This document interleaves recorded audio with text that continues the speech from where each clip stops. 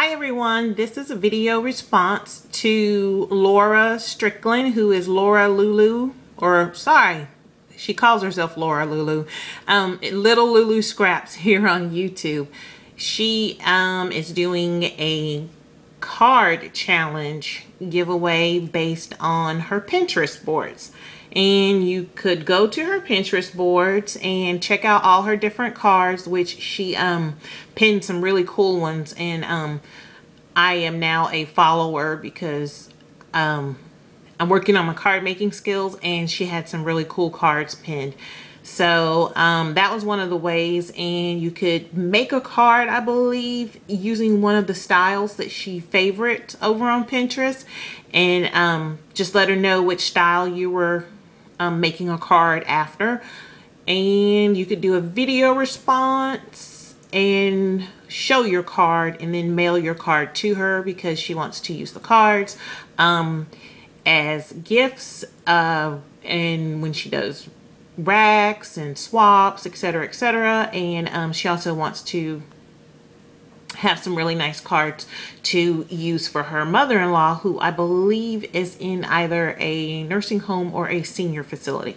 So um, anyway, check her out. She's Little Lulu Scraps here on YouTube. And um, I think we have until Monday the 26th to get our submissions in. So here is mine. Um, for the base of my card, I actually recycled um, some chipboard that came in a package from work. And um, it's really good quality, um, not chipboard, but I don't know, maybe it is chipboard. I don't know. Anyway, it's really good quality paper. So whenever we get packages in at work, and um, they have it in there, I always like grab them and take them home. And people are kind of looking at me strange, like, what is she doing? But it's not their business what I'm doing with it. You know, it's legal. So anyway, um, that's what I use for the base. And I think this measures just under, I'm not even to lie to you. It's big. Um, it's big enough that my whole six by six sheet of paper fits on it. Um, the paper background is from a stack from Walmart. That was $3.97. It was a six by six paper pad. And it, um, I love the vintage look of the roses. Um, vintage was my style that I chose, by the way. There's a Tim Holtz um, dress form that I used my Big Shot to um, cut out from his one of his dies and then I used some Dollar Tree lace that I found years ago. And I put um, I smudged it with some ColorBox ink.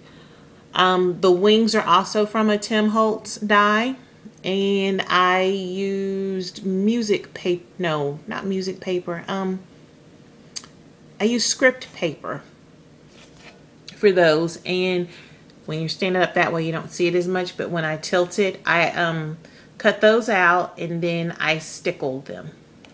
So, and then I also stickled the roses to look like um, dewdrops. I did some inking along the edges of the card as well as the uh, paper.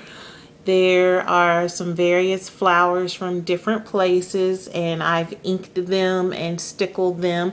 There's a little um, shoe that was actually a button and I popped the back of it off. I hope it doesn't fall off. I hope I use glossy accent so I hope it stays on there. Um, there's some trim. There's some beaded trim here and um, I hope the beaded trim stays because I don't know what the secret is by putting this beaded trim on stuff. I used a hot glue gun and I stung my fingers and I ended up with some glue globs that I kind of cleaned up and I don't know if there's a secret to putting this beaded trim on stuff. Someone please let me know. I would greatly appreciate that. And then I put some more of the, the lace on the edges and again I swatted um, ink all over them. So that's the outside and I'm trying to open it carefully so the charm doesn't fall off. And then on the inside, um, I stamped thank you. And I used another piece of paper from the um, paper stack. And it looks like uh, notebook paper. And it already had a vintage tint to it, kind of like a wood grain distress tint. And then I went over it with um, some more of the pink ink. Um, and I, this is chalk ink, by the way. So that is my card. And it's very sturdy because it's uh, off of whatever that cardboard, chipboard, whatever it is. And um, then on the back, I just did my little stamp so they'll know it was me. And there you go. So I hope you guys like it. Let me know what you think. Thank you for watching. Have a great day. Bye-bye.